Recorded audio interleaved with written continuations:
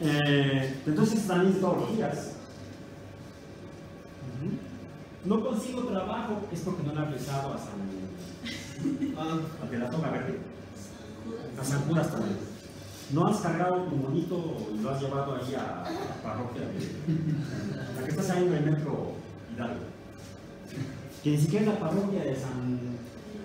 San, de San Hipólito, ni siquiera. O sea, le está bailando el negocio.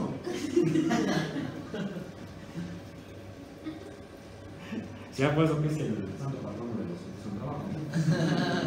Se voló la chamba a San Hipólito. Eh, la falacia non sequitur. Un argumento non sequitur es eh, aquel en el que la conclusión simplemente no surge de las premisas.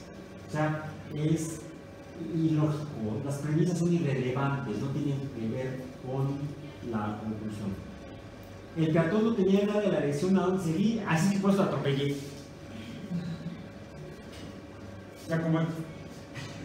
No, Nexo, reconoce que tú ibas manejando, no, no te fijaste que iba a atravesarse y lo atropellaste. No, es que él no sabía que, que- que no debía atravesar. Yo Yo. Sí, así yo no choqué, me chocaron. Me atropelló mi carro.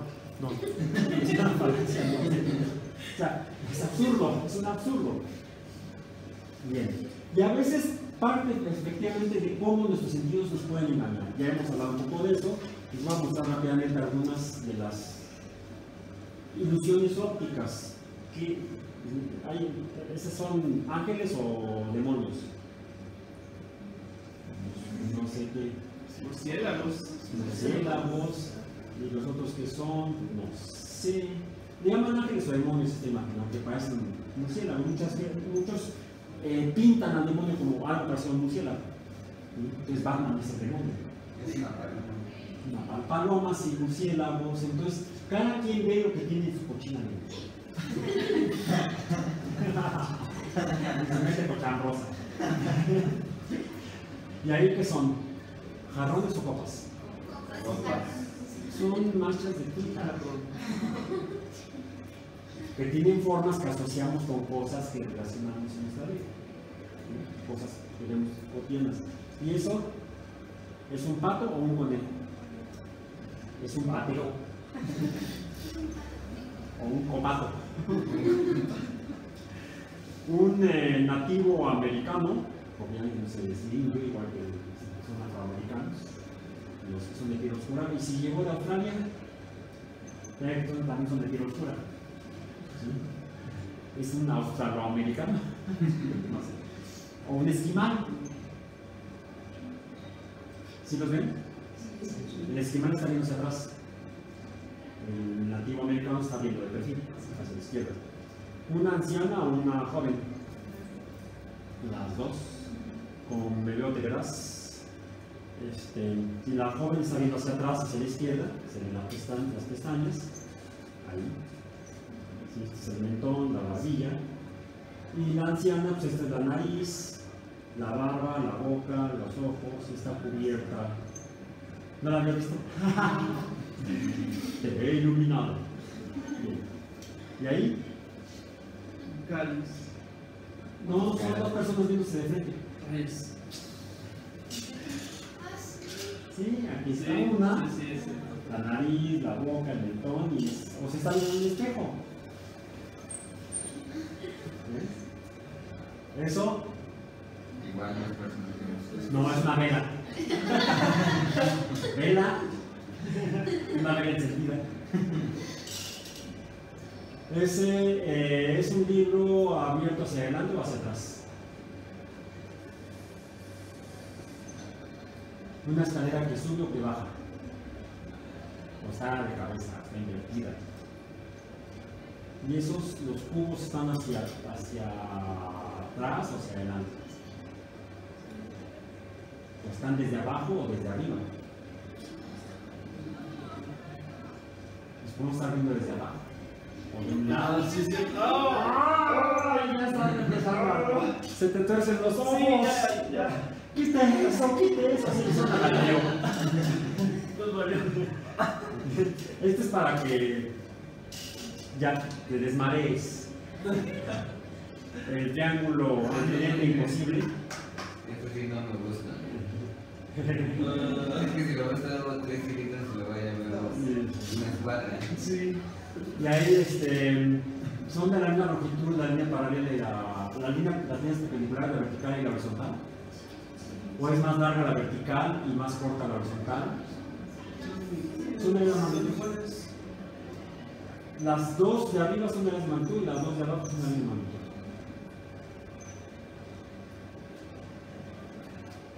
El sombrero de copa, el sombrero de copa. Las líneas paralelas horizontales son de la misma magnitud, de la misma Sí. magnitud.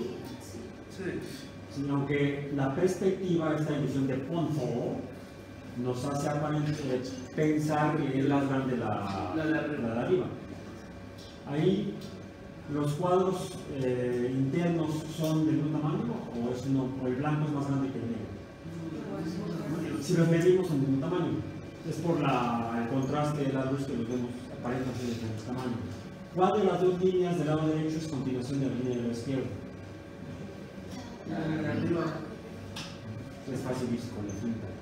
Las líneas horizontales son de la misma magnitud, aunque la de abajo parecía ser más larga. Y ahí, ¿es un cuadrado o está torcido? Los- los- Es un cuadrado. si, si verificamos que ya es un cuadrado, Se hace más grande el círculo. ya, también cada quien ve lo que. ¿Las líneas paralelas son paralelas o están curveadas? Son paralelas. Y arriba parece que fueran eh, convexas y abajo parece que fueran cóncavas. ¿Y eso?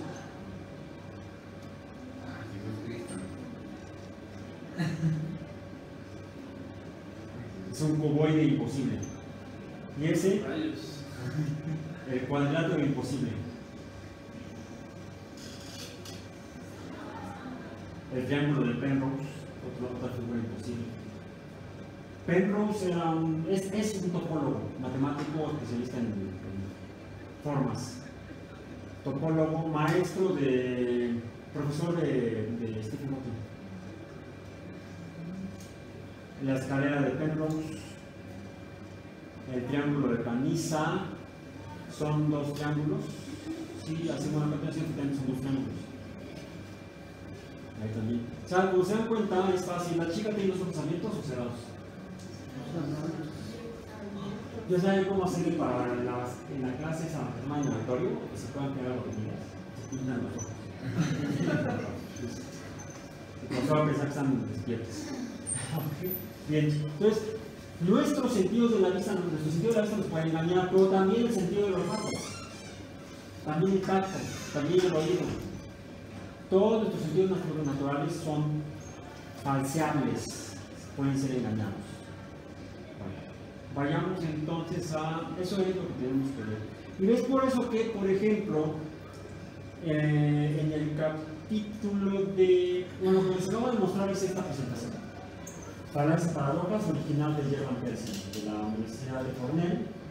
En particular, es una, es una presentación que él arrojó para su curso del 2004 cuatro- curso 490, astronomía, seminario de astronomía en el pensamiento. Ese se aquí es introducción al pensamiento crítico. ¿Sí? Bueno. Eh, en este capítulo, el capítulo 3 de El mundo y sus demonios de Carl Sagan, habla precisamente de, eh, sobre las ilusiones que vemos cuando hacemos incluso exploración científica.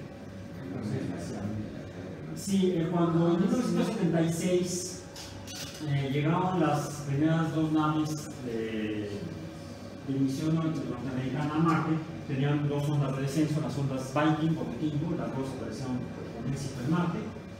Así celebraron su bicentenario, el bicentenario de la independencia de Estados Unidos, poniendo dos ondas en Marte, cada una con una bandera norteamericana.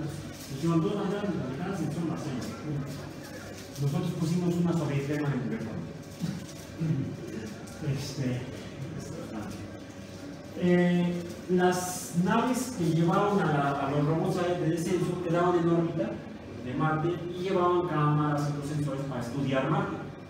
Dentro de las cámaras, eh, bueno, como- con las cámaras una de ellas tomó una región, una región montañosa, tomó una montaña, una una montaña donde dijo, ¡ay! Hay hubo vida en Marte o hay vida en Marte porque una civilización construyó un rostro enorme, un rostro humano. Se conoce como la cara de Marte, investigan de internet. Bien. Pero ese eso cae dentro de las falacias que revisamos, todo en las ilusiones ópticas. Vivimos en la Ciudad de México, estamos en la Universidad Autónoma de México, o en la zona, con- o vivimos en la zona conurbada de la Ciudad de México, la zona periférica del Estado de México. Y hacia el este de la Ciudad de México, o de la zona metropolitana, hay una cordillera montañosa de origen volcánico. Un volcán que ya no funciona, afortunadamente, está y un volcán que sigue funcionando, que es el Popocatépetl. Conocidos desde los que vivieron aquí antes que nosotros, antes de la guerra de y es por, por eso reciben esos dos nombres. Popocatépetl, montaña Comea, y Iztaccíhuatl, mujer dormida. Y todavía ahorita vemos, ah, ahí está la mujer dormida. Y luego los que les gusta el montañismo van subiendo, pues subí por la, por la cabellera, llegué hasta la cima. No, yo, yo, yo hice campamento en el pecho. Allá cada quien, sus gustos y sus habilidades este, como alpinistas. Hay una mujer dormida al este de la Ciudad de México. Si han viajado a la ciudad de Puebla y han visto del otro lado la misma cordillera, se ve diferente. Ya no se ve tan dormida la mujer. O ya no se ve tan mujer la montaña. Son ilusiones ópticas porque es muy común que asociemos lo que vemos con cosas conocidas como rostros humanos personas. De hecho, quizá fue una causa de. Bueno, eso fue un factor que favoreció nuestra supervivencia como especie hace 300.000 años en el este de África. El tener la capacidad de reconocer el rostro materno, el reconocer a, nuestros congéneres más cercanos, porque hace 300.000 años había otros homínidos poblando la misma región del este de África, y de ellos no queda ninguno. Somos los únicos que nos. Quizá esta capacidad de imaginar cosas a través de lo que vemos, de lo que escuchamos, haber sido un factor de supervivencia. Y eso nos lleva al tema de hoy, que es el de los paradigmas de la biología. Em, discutamos un poco o hablemos un poco sobre ellos. Porque comúnmente hay gente que afirma que, eh, quizá apelando a la falacia de ignorancia, que pues eh, los humanos, los humanos no venimos del este de África, venimos de Mesopotamia. Y no fuimos, no somos descendientes del mono, porque hay por ahí que decía que el hombre desciende del mono y el mono desciende del árbol. Em, es decir, apelando a creencias religiosas, niegan lo que se afirma en los textos de este autor, Charles Darwin, que es la explicación de la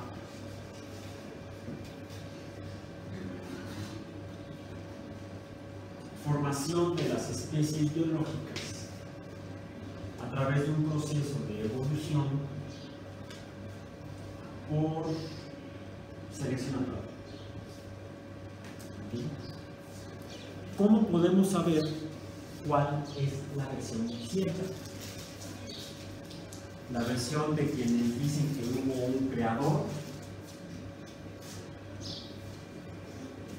que formó todo hace 5.600 años aproximadamente, y el obispo Usher de, las, islas, las Islas Británicas hizo un cálculo matemático para estimar la edad de la Tierra, del mundo, del universo, a partir de la creación, simplemente contando el tiempo que vivieron los personajes que están descritos en los textos bíblicos.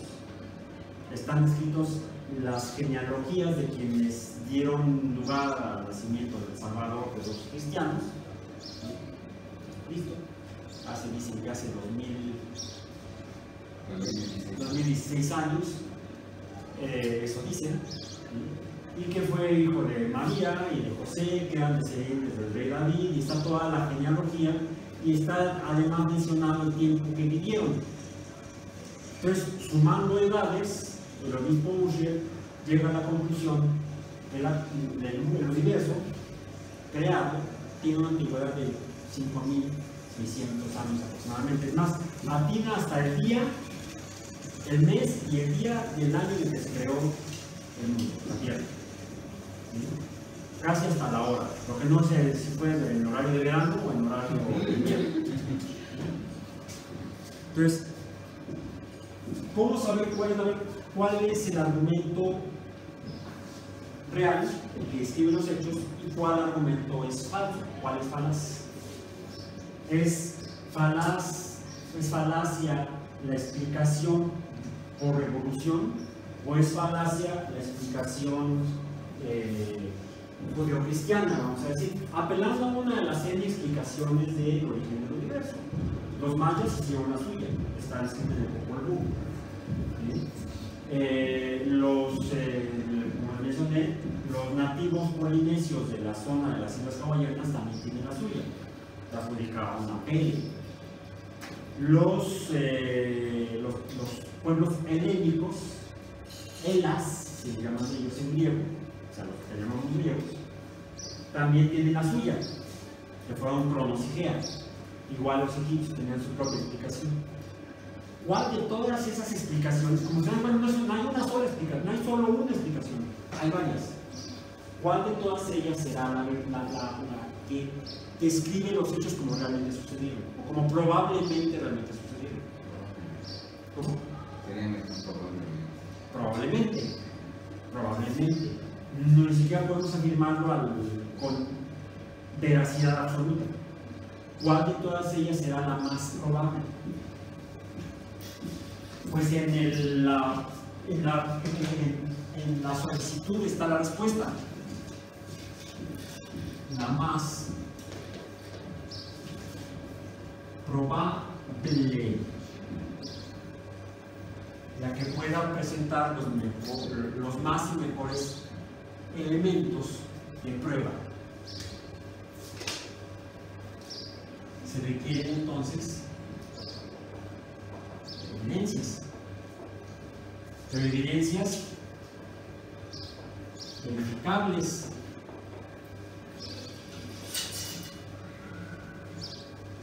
Independientemente es un poco largo. Evidencias independientemente, sí. ¿Por qué independientemente? Porque si es nada más de una persona, caeríamos en una falacia de autoridad.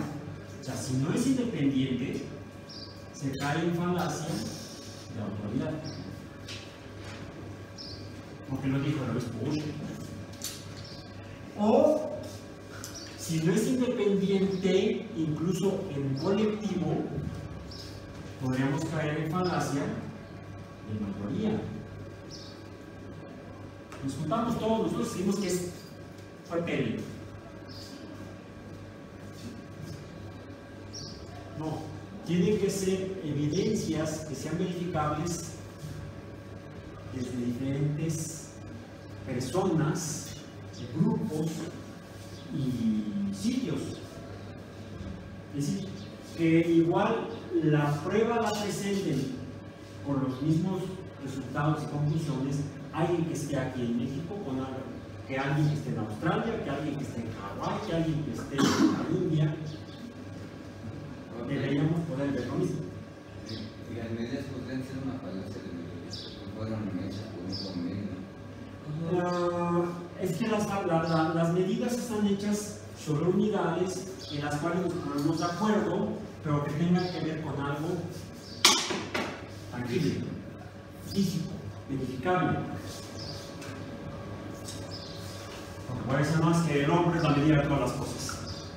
¿Cuál hombre? El rey.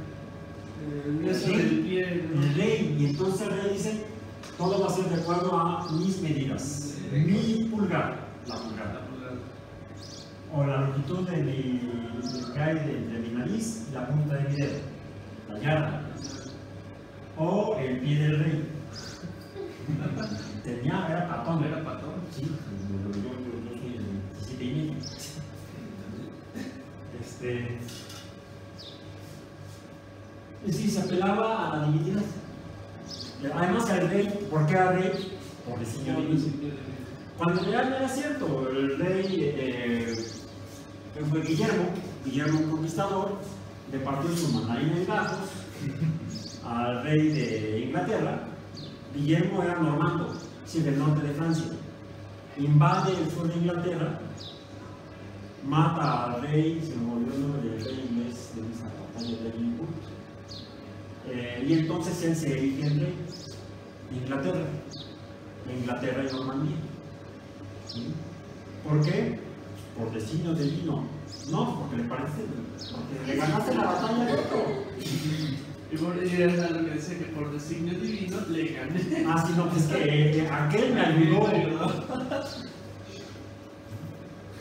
Y es más, el mismo rey inglés eh, pensaba que iba a perder la batalla, fue la, la, la profecía fatal autocumplida.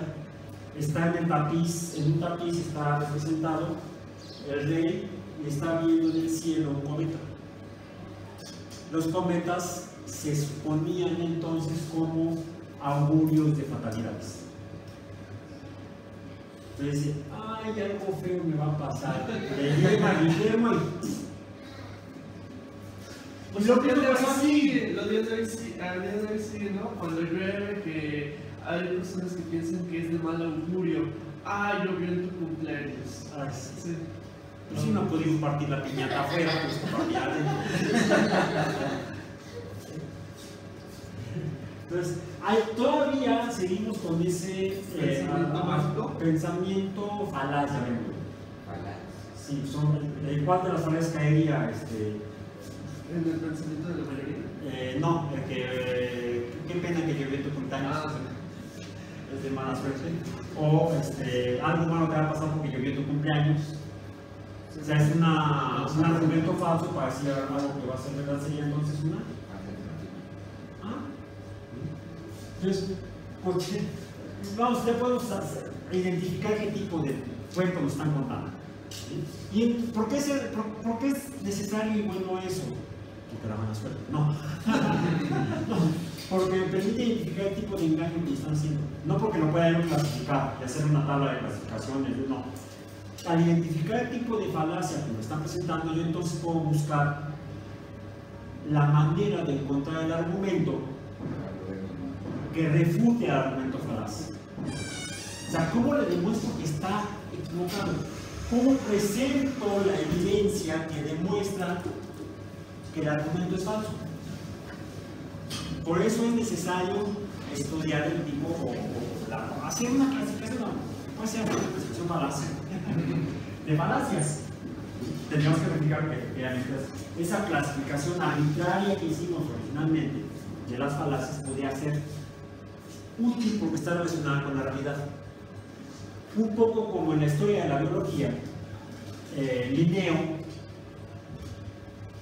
puso, empezó a poner orden en el conocimiento de, la- de los seres vivos, de la biología, al organizar un sistema para el- la nomenclatura, para nombrar a los organismos. O sea, bueno, te voy a preparar una sopa de guisantes, no, mejor de chícharos. No, mejor de arvejas. ¿Sí? Es lo mismo. ¿Sí? A veces llamamos a lo mismo que con diferentes nombres. O a veces llamamos a cosas distintas con el mismo nombre. Y entonces ahí nos pueden engañar. Es por eso que Linneo muy inteligentemente, digo yo, eh, tuvo el tino de hacer un sistema de clasificación de organismos con nombres que- que- que los manejemos todos los que queremos conocer los organismos, que en realidad deben ser todas las personas.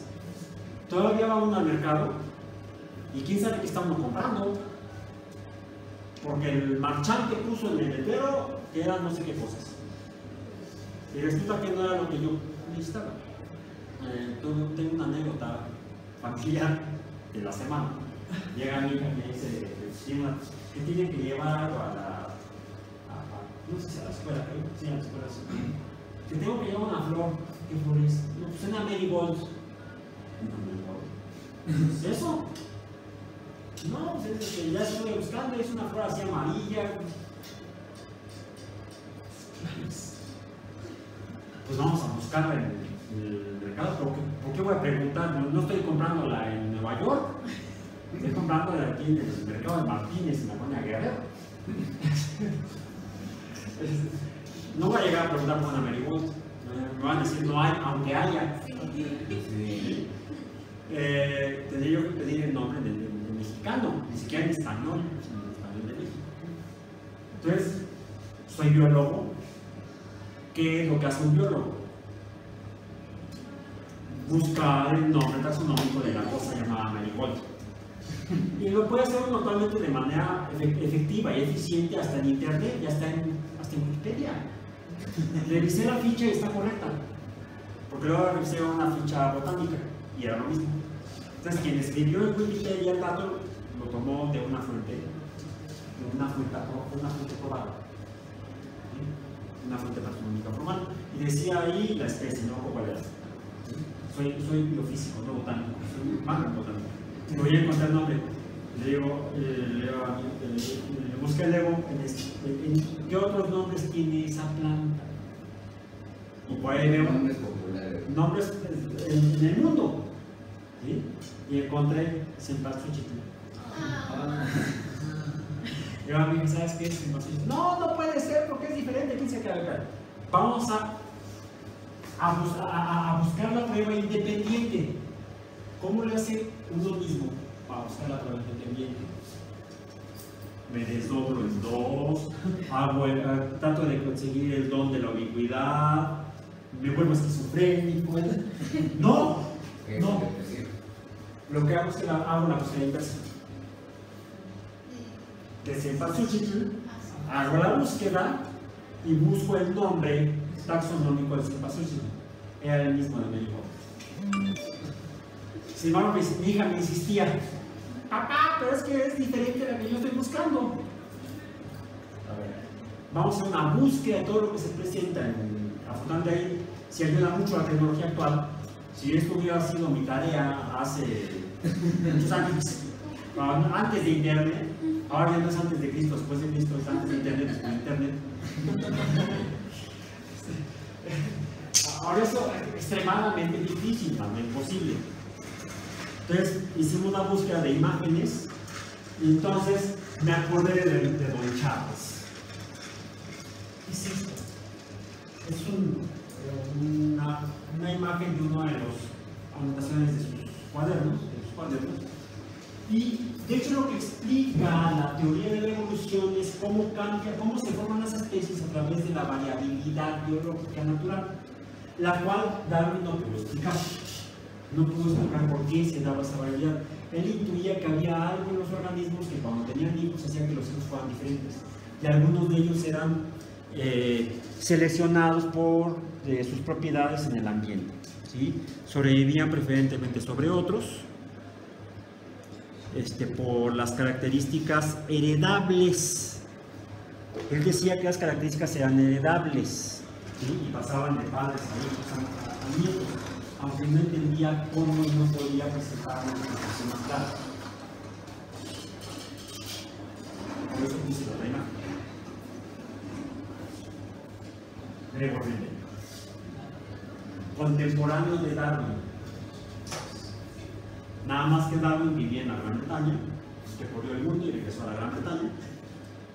Nunca se detuvo en, el centro de Europa, que es donde vivía Gregor Mendel, sino que ahora es la República Checa. Y Gregor Mendel, siendo un monje, pues no salió de la zona en la que vivía. Nunca fue a Gran Bretaña y tampoco recorrió el mundo. Y como no existía antes el Internet, también fue antes Internet. Ni No, tampoco había telegrafo. Bueno, ya empezaba a tener en el siglo XIX, mediados del siglo XIX, fue fundamental en la guerra de secesión de los Estados Unidos, pero no estaba tan propagado el uso de incluso el telegrafismo. De hecho, la comunicación entre poblaciones era muy lenta y a veces no se daba.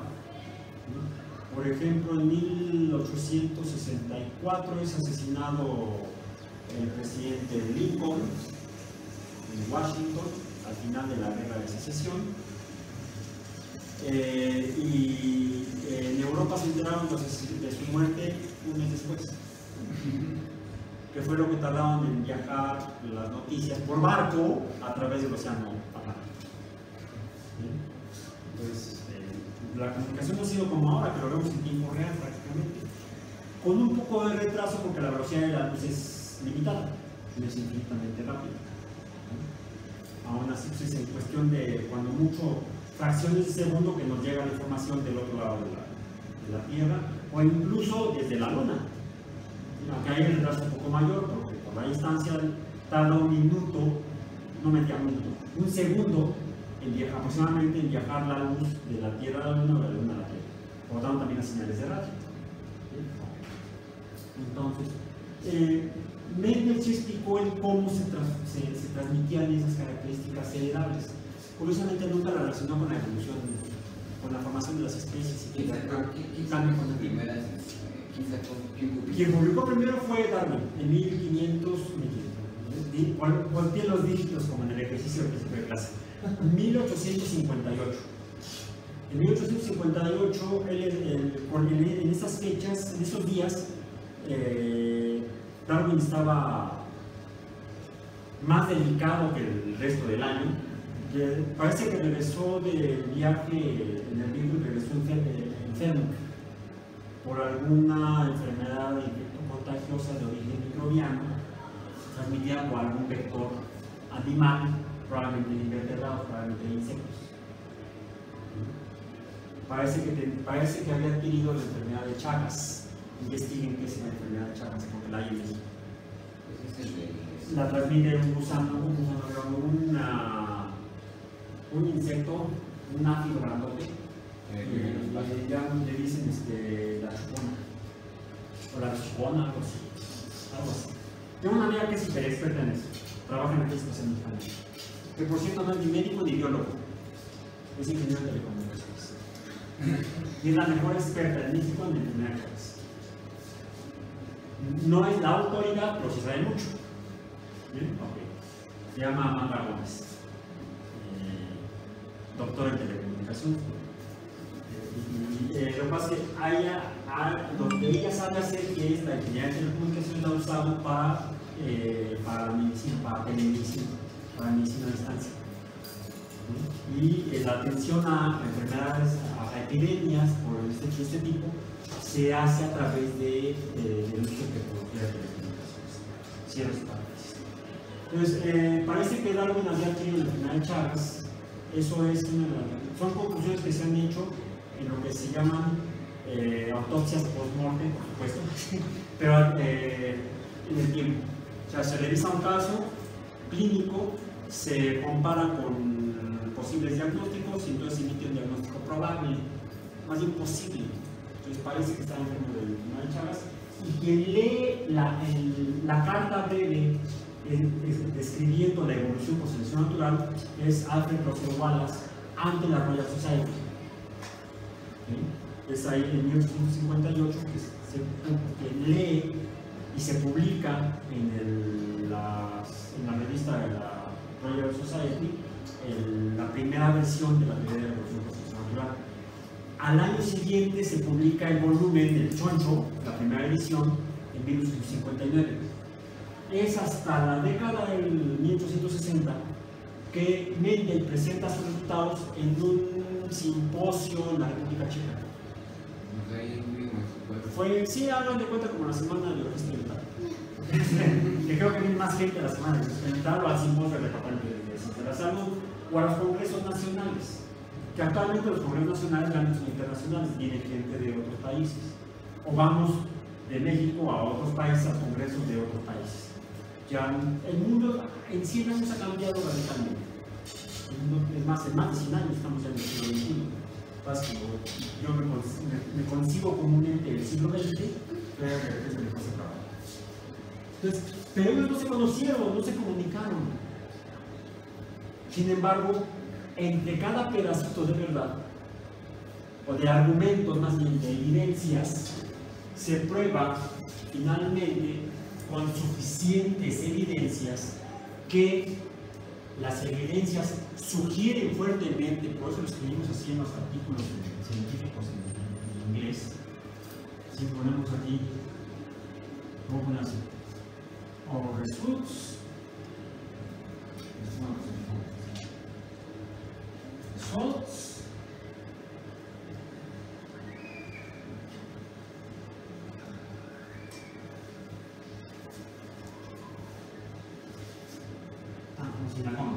suggest that tal cosa es probable. Nuestros resultados actuales o resultados de nuestra investigación sugieren fuertemente que las cosas son así o pueden ser así. Porque además son nuestros resultados. ¿Para qué publicamos? para que nuestros resultados, con todo el protocolo de cómo lo hicimos, sean independientemente verificados por otros investigadores. Es decir, se tienen que reproducir. Las investigaciones que se publican deben ser reproducidas por otros colegas. Sí, es muy importante que científicos, técnicos, tecnólogos, lean lo que publican sus colegas para hacerlo ellos en sus laboratorios y verificar que lo que se publicó es cierto. Que se acumulen suficientes evidencias y entonces nada, si por mayoría decimos que no. No, no es una apelación a la mayoría. Es una evidencia estadísticamente demostrada que por consenso se acepta por parte de quienes trabajan el tema. por consenso nos convencen, no nos convencemos, las evidencias nos convencen de que lo que se está diciendo es cierto. O a veces sucede, con bastante frecuencia, que cuando se reproducen los resultados, no, cuando se reproduce el experimento, los resultados no son iguales.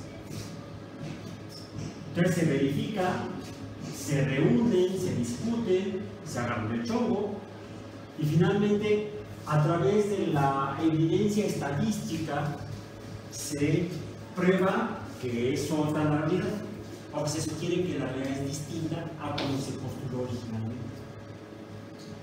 Y de esto hay un número importante de eh, casos en la historia. Revisen como un ejercicio esta clase que llamamos tarea. Recuerden que aquí las tareas son obligatorias que son para buscar independientemente que lo que estamos viendo es cierto.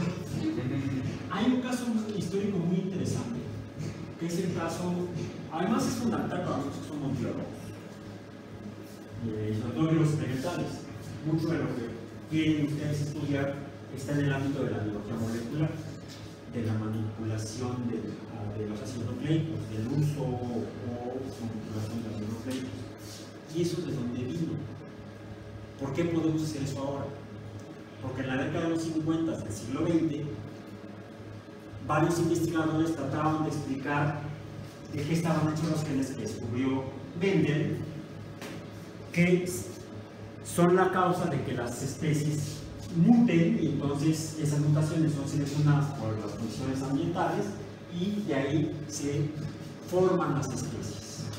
Sea, como se dan cuenta, estos dos conceptos, estas dos explicaciones, forman parte de la base de, de la construcción del edificio de conocimientos de la biología, de lo que es la biología moderna. El otro es la teoría celular, porque todo esto que decimos sucede en unidades fundamentales que son las células. No hay organismos sin células.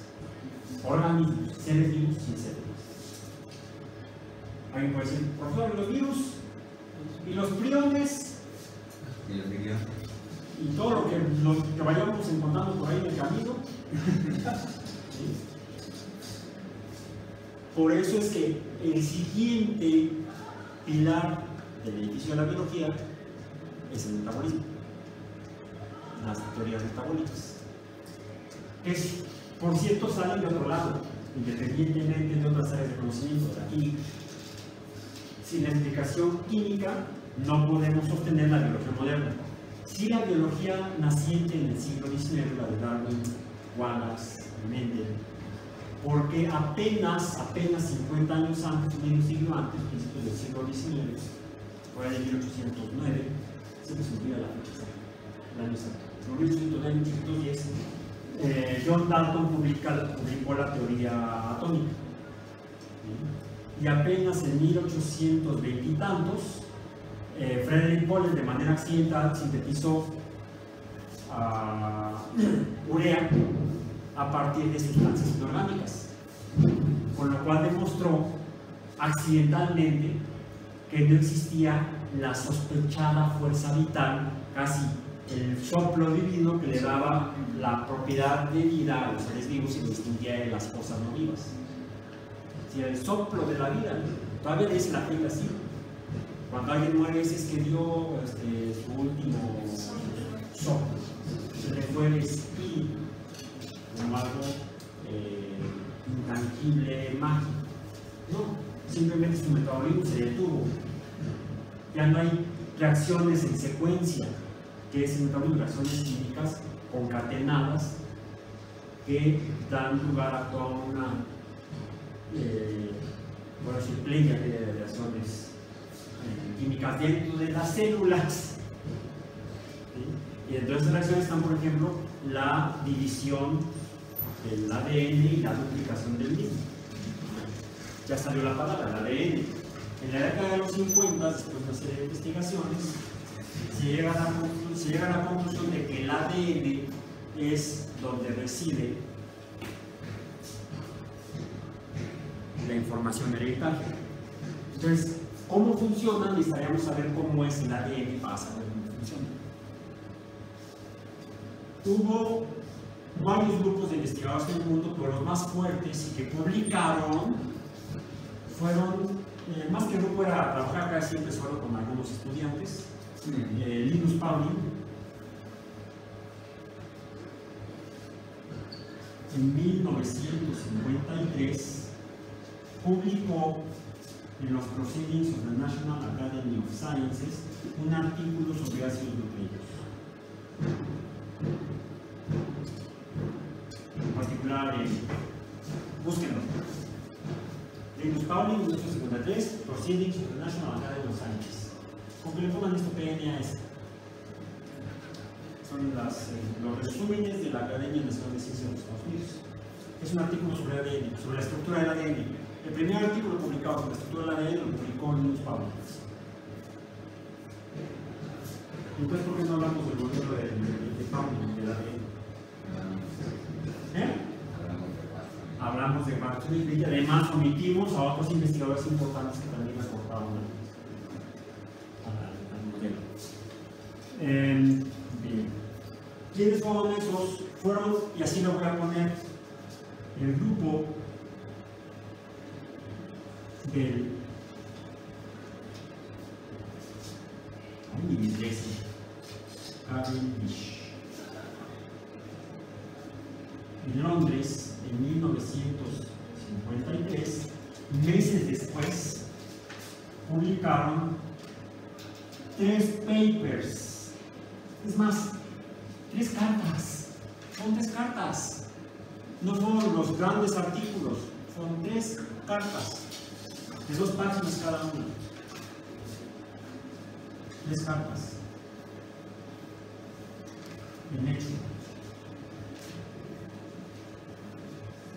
Otra revista científica. En hecho. Busquen los tres artículos. Están, además están uno detrás del otro. Encabezado ese grupo de Cavendish por eh, el doctor Lawrence Bragg, premio Nobel en Química, a la edad de 23 años. ¿Qué alguien? Ya sé. No. Imagínate a mí. Yo te quedan unos meses para que puedas ser premio Nobel. Bien, bueno. Entonces, y este es el fundamento de lo que actualmente es la ingeniería biológica. ¿Cómo sabemos que eso es cierto? Porque hay una cadena de eventos históricos verificables en los cuales se presentan las diferentes evidencias que se verificaron independientemente, se verificaron independientemente y que demostraron a través de uno y otro y otros experimentos que la realidad es que los organismos se forman de esta, tiene esta constitución, todos son seres ¿Qué son los priones? ¿Qué son los vivos? Son entes biológicos, no seres biológicos. Porque entonces ahí tenemos que definir qué es un ser vivo. ¿Qué es la vida? ¿Qué es un ser vivo? Y podemos apelar a argumentos falaces o argumentos verificables, verificados. Y eso será de lo que hablaremos en las próximas sesiones, donde hablaremos en particular de tecnología genética, porque es uno de los temas más álgidos hoy en día, en los que debemos ser sumamente críticos para evitar ser manipulados nosotros y la sociedad por argumentos falaces, que incluso pueden tener consecuencias en la sociedad. Por eso es que el último tema del curso es lo que digan, profesor, ¿pero ¿por qué tenemos que estudiar los biólogos esa cosa que se llama ética? Que por cierto hubo una charla en la semana, una mesa sobre ética de la universidad. ¿Sí pudieron acudir a ella? ¿no? Mala pata. Este, cuando vean algo relacionado con ética, este, en serio,